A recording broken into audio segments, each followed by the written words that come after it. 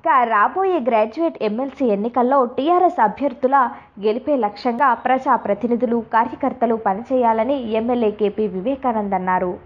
ఇక ఈ కార్యక్రమంలో డివిజనల్ అధ్యక్షులు మహమ్మద్ రఫీ మాజీ municipal vice chairman T Lakshmareddy మరియు టీఆర్ఎస్ నాయకులు తదితరులు పాల్గొన్నారు. ఉన్నట్టు వారు అదేవిధంగా మన పార్టీ నాయకులు. యొక్క గ్రాడ్యుయేట్ కాన్స్టిట్యున్సీ అంటే పట్టభద్రుల నియోజకవర్గానికి ఒక ఎమ్మెల్సీ ఎన్నుకుంటారు. ఉమ్మడి మహబూబ్ నగర్ రంగారెడ్డి హైదరాబాద్. మూడు జిల్లాల పట్టభద్రులు కలిసి ఒక ఎమ్మెల్సీని ఎన్నుకుంటాం. మన పార్టీ బలపరిచిన అభ్యర్థులు మనకి. దీంట్లో ప్రక్రియ ఏంటంటే మనము ఈ యొక్క డిగ్రీ పూర్తి చేసిన వాళ్ళమైనా సరే ఇంజనీరింగ్ ఉన్నా సరే ఆ ఈక్వల్ డిగ్రీ ఎవరున్నా సరే ఎవరు ఎన్రోల్మెంట్ చేసుకోవాలి? ప్రతి ఎలక్షన్స్కి ఫ్రెష్ ఓటర్ ఉంటుంది పాత ఓటర్ వేసుకుంటే ఉంటే నా పేరు నేను లాస్ట్ టైం నా ఓటు రెండు సార్లు వేసిన.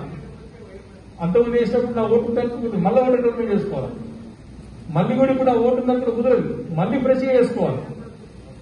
కాబట్టి మన- మనం గతంలో వేసిన వాళ్ళు మనం ఎన్రోల్మెంట్ చేసుకోవాలి కొత్త వాళ్ళు ఎన్రోల్మెంట్ చేసుకోవాలి. రెండు వేల పద్దెనిమిది వరకు డిగ్రీ పూర్తి చేస్తున్నారు వాళ్ళు. కాబట్టి మిమ్మల్ని కోరుతా ఉన్నా ఈ ప్రక్రియని ఈ యొక్క ప్రజలందరూ కూడా సీరియస్గా తీసుకోవాలా? ఇంతకుముందు చెప్పినట్టు ఆరు ఆరు మనకు ఆ- ఆరు అంశాలలో మనం దీనిపైన అవగాహన ఉండాలా? ఒక రిక్వైర్మెంట్ సిక్స్ ఉన్నాయి మనకు కావాల్సినవి. ఫస్ట్ ఫామ్ ఎయిటీన్ ఉంటుంది మనకు. జిరాక్స్ కాపీస్ ఉన్నాయి మన కార్పొరేటర్ గారి దగ్గర విజయ అధ్యక్షుల దగ్గర మన పార్టీ నాయకులందరి దగ్గర ఉన్నాయి. ఫామ్ ఎయిటీన్లో అన్ని సమాచారం దాంట్లో దరఖాస్తు ఫిల్అప్ చేసిన తర్వాత degree certificate or engineering certificate xerox copy పెట్టాలా?